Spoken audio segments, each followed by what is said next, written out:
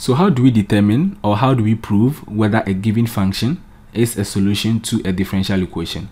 Now that is exactly what we are going to do in today's lesson. The solution of a differential equation is nothing but the function that will satisfy it when the function is substituted into the differential equation. Now let's take an example. That is example 1. Let's assume that we are given the differential equation y prime prime plus 4y equals 0 and we are asked to prove whether the function y equals a sine 2x plus b cos 2x is a solution.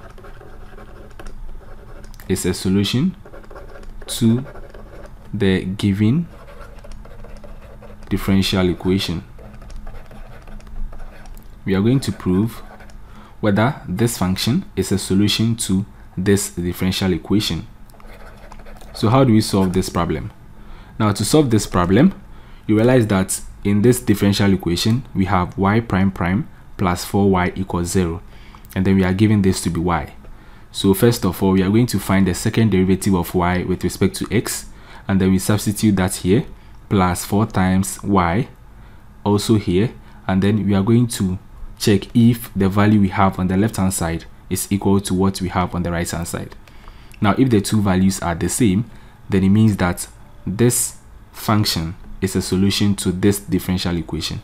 However, if the two values are not the same then it means that this function is not a solution to this differential equation. So let's do that together. So we are given y to be equal to a sine 2x plus b cos 2x. Now let's find y prime prime. So to find y prime prime, we first of all need to find y prime. So y prime is equal to, now a is a constant, so we have a here. And let's try to work on sine 2x. So first of all, we differentiate 2x, and then we have 2. Now when you differentiate sine, you have cos. So we have cos 2x plus b is also a constant. And so we are going to work on cos 2x. We differentiate 2x, we have 2.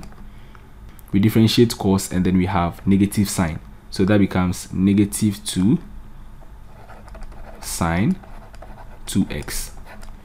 Now let's simplify this. So we have 2a cos 2x minus 2b sine 2x. So that is y prime. Now for y prime prime, that will be equal to 2a is a constant. So we have 2a and then into brackets, let's work on cos 2x. Now when you differentiate cos 2x, you have negative 2 sine 2x. So let's just plug that here. Negative 2 sine 2x and then minus 2b. When you differentiate sine 2x, you have 2 cos 2x. So 2 cos 2x. We also simplify this. We have negative 4a sine 2x minus 4b cos 2x. So that is y prime prime. Now let's substitute y prime prime and then y into this differential equation. So therefore we have y prime prime plus 4y equals 0.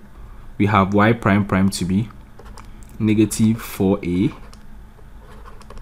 sine 2x minus 4b cos 2x plus 4 times y. So we have y to be a sine 2x plus b cos 2x equals 0. okay equals 0 so let's simplify or let's expand let's multiply 4 across. So we have negative 4a sine 2x minus 4b cos 2x then we multiply 4 across we have plus 4a sine 2x plus 4b cos 2x equals 0.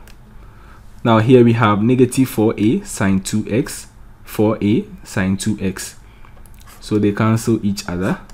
Again, we have negative 4b cos 2x plus 4b cos 2x. So they also cancel each other. And we are left with 0 on the left hand side. And that is equal to 0 on the right hand side. So therefore, since the left hand side is equal to the right hand side it follows that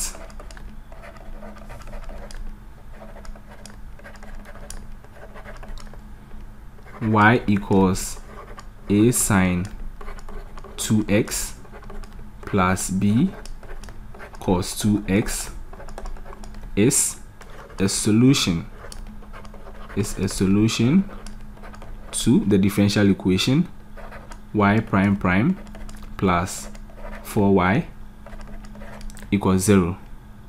So basically this is how to go about the whole solution. Now let's consider a few more examples. So let's try example 2.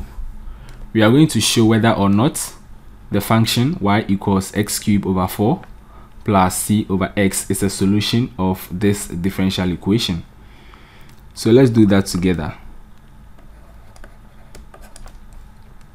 So using the same procedure, first of all, we are going to find the first derivative of this function with respect to x because we have the y dx here and then we plug that and then y into this differential equation to see if the value we have on the left hand side will be equal to the value on the right hand side. So we are given y to be x cubed over 4 plus c over x. Now we can as well represent this as 1 over 4 x cubed plus x raised to the power negative 1 times c. So let's try to find dy dx. So dy dx is equal to, now 1 over 4 is a constant, so we have 1 over 4 here let's try to differentiate x cubed with respect to x. So that becomes we are going to drop down the 3 times x and then we are going to reduce the exponent by 1 3 minus 1 is 2 plus we have c to be the constant. We do same. We are going to drop down negative 1 we multiply by x and then we are going to reduce the exponent by 1 negative 1 minus 1 is negative 2 now let's try to simplify this. So this becomes 3 over 4 x square minus because of this negative so minus c over x square. So x to the power negative 2 becomes 1 over x square and then times c becomes c over x square. So this is dy dx now let's plug dy dx and then y into this differential equation. So for the differential equation, x dy dx plus y equals x cubed. So we have x times dy dx and that is 3x squared over 4 minus c over x squared plus y. We have y to be x cubed over 4 plus c over x is equal to x cubed. So let's continue with the rest of the solution. Now we are going to multiply x across from the left hand side. So that becomes 3x cubed over 4 minus xc over x square plus x cube over 4 plus c over x equals x cube. Now we can cancel out x and then one of the x's here. So we simplify this and then we have this to be 3x cube over 4 plus x cube over 4. Now because they have the same denominator, we can basically add the numerator. So 3x cube plus x cube becomes 4x cube over 4 and then here we have negative c over x plus c over x. So they cancel each other. And we have plus 0 and that is equal to x cube so we can cancel out 4 and then 4 4 goes here once and then 4 also goes here once. So that's left with x cube equals x cube. Now since the left hand side is equal to the right hand side then it follows that it follows that y equals x cube over 4 plus c over x is indeed a solution to this differential equation now let's move on and solve a few more examples. Now to example 3. We are going to show whether or not the function 2y equals x plus 1 or exponent 4 plus c times x plus 1 or exponent 2 is a solution to the differential equation dy dx minus 2y over x plus 1 equals x plus 1 all cube. So let's try to solve this together as well. So here we are given 2y, the function 2y equals x plus 1 raised to the power 4 or raised to the power 4 plus c times x plus 1 or raised to the power 2. Now in this differential equation, we have dy dx, that is the first derivative of y with respect to x and so we are going to find dy dx from this function. So the first thing we are going to do is to divide through by 2 divide each term by 2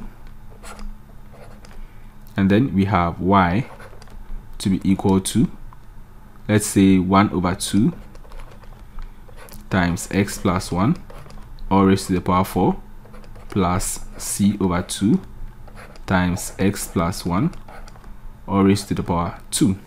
Now let's find dy dx from this.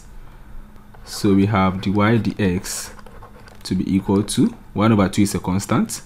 So we have that here. We maintain that here. Now let's differentiate this that is x plus 1 or raised to the power 4 using the chain rule. So in actual sense we are going to drop down this 4 we are going to differentiate what's in the bracket with respect to x. When you differentiate x, you have 1. When you differentiate 1, you have 0. So we have 1 here. And then you rewrite what we have in the bracket, so x plus 1. And you reduce the exponent on it by 1. So that is 3. So same approach, c over 2 is a constant. Now you drop down this exponent which is 2 you differentiate what you have in the bracket you are going to have 1 you rewrite what you have in the bracket and then you reduce the exponent by 1 now 2 minus 1 is 1 so you can just leave that one. Now let's simplify this. So 2 goes here once 2 goes here two times. So you are left with 2 times 1 times x plus 1 or cube plus 2 goes here once 2 goes here once. So you are left with c times x plus 1 so this is dy dx. This is dy dx. So we are going to plug dy dx into this differential equation. So let's do that. So we are going to have dy dx. So dy dx is equal to 2 times x plus 1 all cube plus c times x plus 1 minus minus 2y over x plus 1.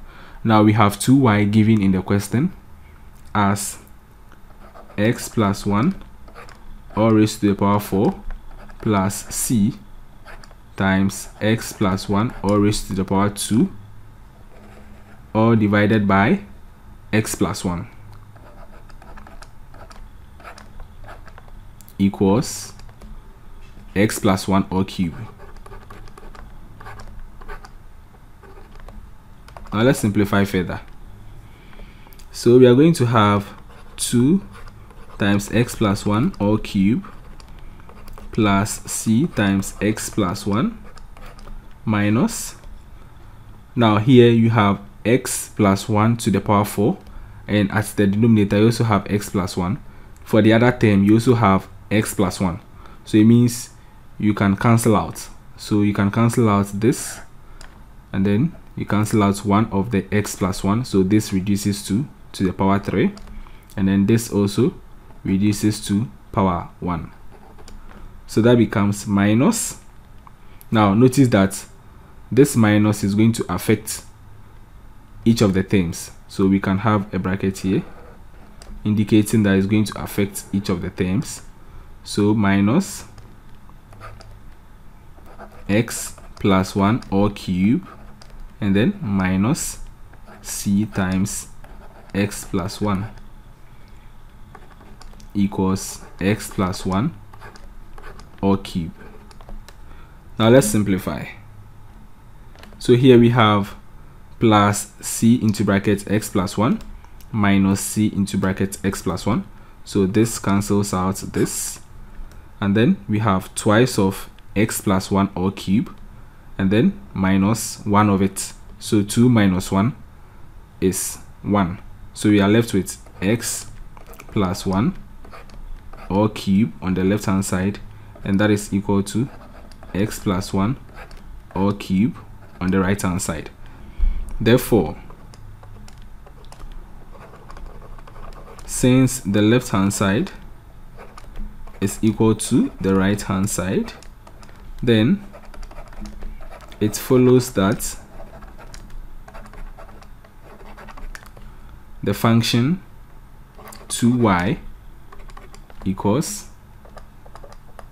you have 2y equals x plus 1 to the power 4 x plus 1 to the power 4 plus c into brackets x plus 1 to the power 2 I think I'm right. Is a solution.